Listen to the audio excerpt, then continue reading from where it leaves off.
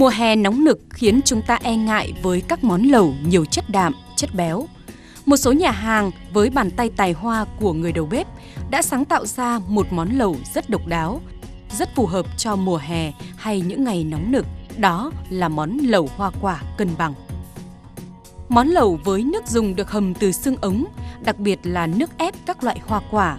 Món nhúng là các rau, củ quả và thịt bò, hải sản tùy khẩu vị. Có thể nói đây là món lẩu của bốn mùa khi dinh dưỡng đã được cân bằng trong một nồi lẩu. Thú vị hơn, đây là món lẩu rất hợp với phái nữ khi ăn nhiều mà không sợ tăng cân.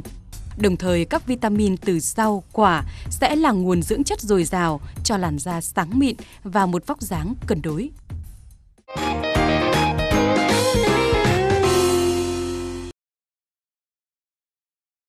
Vâng thưa quý vị và các bạn, hôm nay chương trình Ngon và Lành xin được giới thiệu đến quý vị và các bạn một món ăn khá là độc đáo nhưng cũng vô cùng hấp dẫn, đó chính là món lẩu hoa quả cân bằng.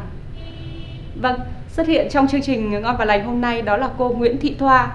Vâng thưa cô Thoa là cô có thể cho khán giả biết là vì sao mà chúng ta lại gọi món lẩu hôm nay là món lẩu hoa quả cân bằng không ạ?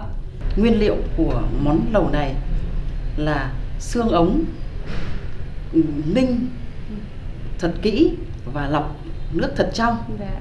thế và gồm có táo lê củ đậu dạ. và dứa dạ. chúng ta xay lấy nước à, dạ ta vâng. xay ra lấy nước thế và hành tây ừ. chúng ta bỏ vào và đun đun sôi khi đun sôi lên thì bắt đầu chúng ta mới cho dạ. nước hoa quả vào rất cân bằng về dinh dưỡng dạ. bởi vì có đầy đủ các yếu tố dạ chẳng hạn như hoa quả ừ. và các loại rau củ ừ. đấy khi mà ta đun thì ta cũng phải đun đúng lửa để cho nó giữ lại được. Dạ. vitamin và khi mà đi kèm với lẩu với nước lẩu đó thì chúng ta có gồm có bí ngô này ngô này nấm này. Dạ. rồi ờ, rau xanh. rau xanh và thịt bò mỹ vâng Vâng, có thể thấy là món lẩu hoa quả um, cân bằng của chúng ta không chỉ cân bằng về dinh dưỡng đâu mà uh, còn chắc chắn là sẽ cân bằng về khẩu vị bởi vì ở đây thì hầu hết những cái món hoa quả rồi ngay cả thịt bò này đều đáp ứng được phần đông cái khẩu vị của thực khách đúng không cô?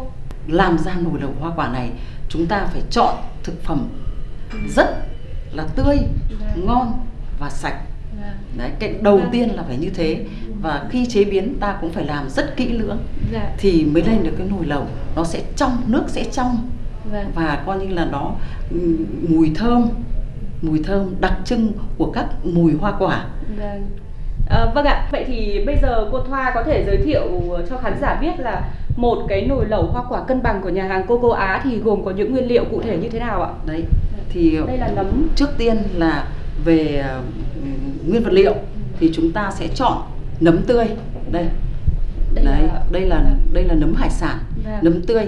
Và ta phải chọn những cái nấm nào nó không bị vết không bị vết. Ừ. đây rất là tươi ngon. Dạ. rất là giòn rất là giòn đấy, dạ. đấy Thế tươi nấm ngon. này của mình cũng nấm là cũng là nấm hải sản nhưng mà nó màu nấm lâu màu nâu. đấy. Ờ, vâng ạ. Ờ, ngoài ra thì ngoài ra chúng ta còn có, còn có nấm đùi gà. Nấm đùi gà đây. đấy nấm đùi gà. Vâng đấy nấm cũng rất gà. là tươi ngon đấy, đúng tươi không ngon. Ừ. đúng rồi. Và vâng. ngô vâng. và bí ngô. Đấy ngô này bí ngô, ngô đây. và những cái rau xanh đây. Vâng, xà lách. Xà lách. Xà lách xoăn. xà lách xoăn. Tại sao đây. chúng ta không chọn xà lách ta hả cô thoa? Ờ, chúng ta chọn cái xà lách này thì ăn nó sẽ rất là giòn. Ừ. ăn giòn và vâng. rất là ngon. Còn vâng. xà lách ta thì nó sẽ bị ỉu.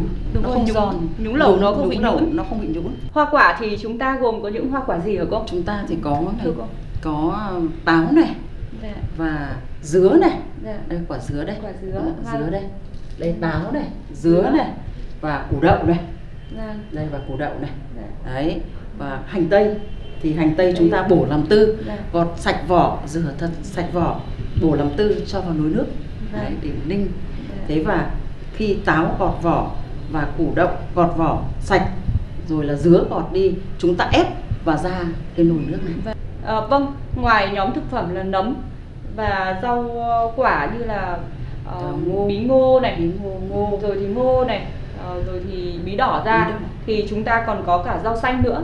Và Ừ, ở đây chúng ta còn có cả bò nữa.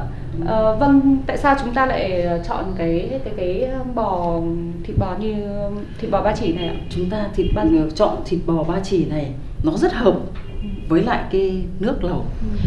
Bởi vì là cái thịt bò ba chỉ này nó rất hợp với cái nước lẩu dạ. hoa quả này. Khi mà mình nhúng cái thịt bò ba chỉ này vào, nó có cái sự mềm, Quyện. mượt, quyện với cả hoa quả ăn rất ngon. Dạ. Vâng, à, có thể thấy là cái nồi lẩu của chúng ta rất là giàu dinh dưỡng và đặc biệt có thể nói đây là một nồi lẩu vitamin bởi vì cái lượng nấm rồi uh, rau củ quả khá là nhiều. À, vâng thưa cô Thoa là để làm được một nồi lẩu ngon thì cái nước lẩu sẽ rất là quan trọng. Cái nước lẩu này thì làm từ uh, xương ống ninh và chất nước thật trong ừ. và dùng nước ép của trái cây là dứa, táo và củ đậu. Chúng ta ép lấy nước. Đây, phần nước đây. Vâng. Đấy, chúng ta lấy ép lấy nước và khi mà chúng ta thả hành tây vào đây đun sôi, đun sôi khoảng 5 phút thì chúng ta sẽ đổ nước dứa và nước táo, nước củ đậu vào trong nồi nước lẩu và đun sôi thêm khoảng 1 2 phút rồi chúng ta tắt bếp dạ. để giữ được lượng vitamin trong trong nước.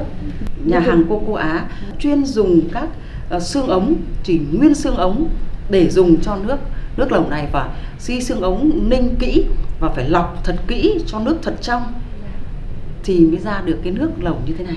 Dạ. Vâng, có nghĩa là trong cái nồi nước dùng ban đầu của nước lẩu thì chúng ta chỉ ninh từ xương ống thôi. Xương ống thôi. À, vâng ạ.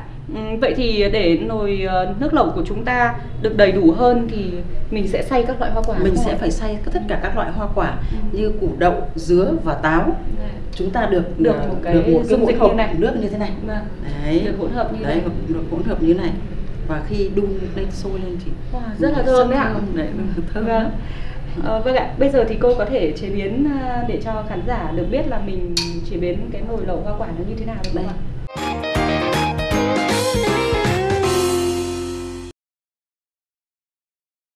Khi mà nước sôi lên thì mình mới được đổ nước hoa quả vào. Và sôi một tí thì mình phải tắt đi. Vâng không Này, thì vitamin, vitamin nó sẽ bay. hết đúng không ạ?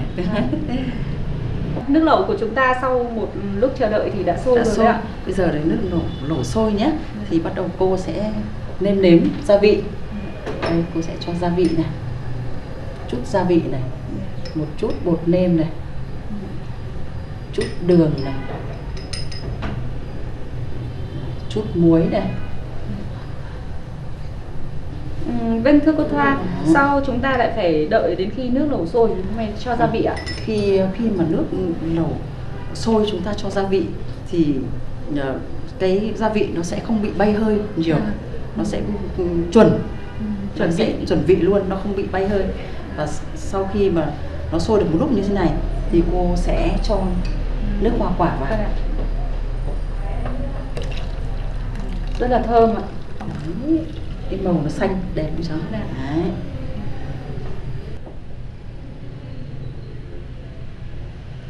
nồi lẩu của chúng ta rất là thơm rồi đó ạ. Hớt bọt và đồng thời hớt hành tây bỏ à, bỏ dạ. ra. Thế thì nó không bị nồng. Cái hành tây chỉ là để làm à, cái cho, như một thứ cái, cái, gia vị ban đầu đúng không đấy rồi để cho nước thơm. Và nó sẽ kiểu có trong xương có mùi gì thì nó sẽ hút hút hết. Tất cả các tạp chất là do hành là nó sẽ đun khi đun vừa vào với cả cả cả nước là nó sẽ hút. Thế và sau khi mà sôi bồng lên thì chúng ta sẽ hớt bọt và hớt hành tây bỏ đi. luôn. Dạ. thùng còn hớt hành tây dạ.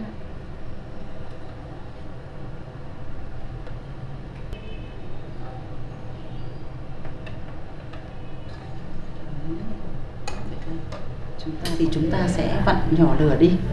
Đấy, vặn nhỏ lửa đi. Coi như là bây giờ là nồi nước lẩu của mình đã xong đã, đã hoàn thiện.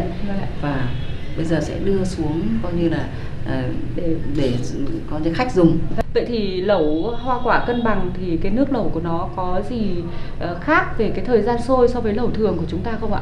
À, cái lẩu hoa quả thì nó chỉ khi mà cho nước hoa quả vào dạ. chỉ 2 phút là chúng ta phải tắt bếp. Khi vớt hết bọt và hành tây ra là chúng ta tắt bếp.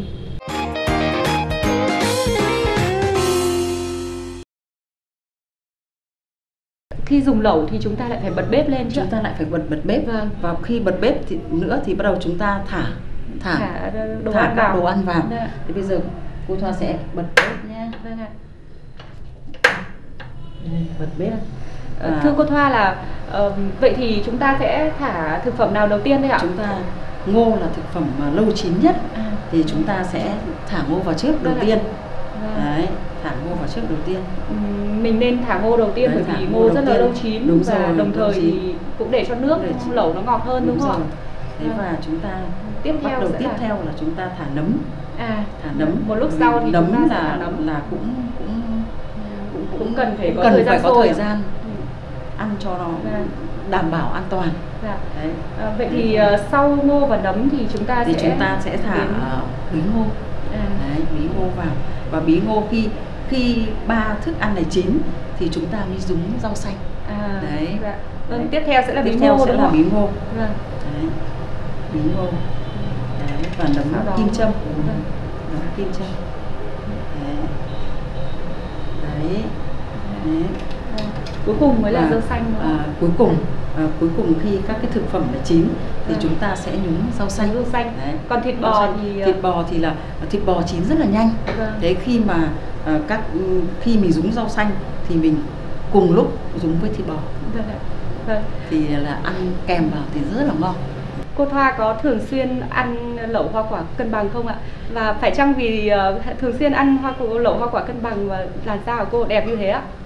Thì gia đình nhà cô ờ, cả gia đình cũng rất là rất là thích cái món lẩu hoa quả cân bằng này bởi vì là Vừa dễ ăn, vừa dễ ăn nó lại mang rất là nhiều các chất vitamin. vitamin cho nên là ờ, gia đình cô thường thường một tuần phải hai ba lần ăn cái món lẩu này Và Đấy. chắc hẳn là món lẩu này là một món lẩu mà ăn nhiều và không bị ngán đâu đúng không ạ? đúng cháu nói đúng Dạ. bởi vì nó rất nhiều rau củ nó có cái hoa quả rau củ thế cho nên là mà nó cũng cái lượng đạm thịt thì vừa phải thôi thế cho nên là rất là hợp với lại ờ, chị em phụ nữ chúng mình Dạ. và các cháu nhỏ Vâng. Vậy phải nói là cái lẩu hoa quả này rất là hợp.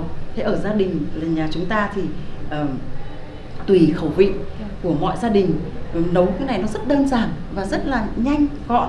Đấy. Thế và tùy ờ, có thể thêm các loại rau củ quả Vâng, khác nữa, thực phẩm khác nữa cũng được. Tùy sở thích của gia đình. Đấy, tùy sở thích của gia đình. Từ những nguyên liệu và cách chế biến thì có thể nói rằng là lẩu hoa quả cân bằng là một món lẩu rất là thanh mát. Và thưa quý vị và các bạn, món lẩu hoa quả cân bằng này thì chúng ta không lo thiếu chất bởi vì đã có thịt bò cung cấp cho ta rất là nhiều chất đạm rồi các khoáng tố.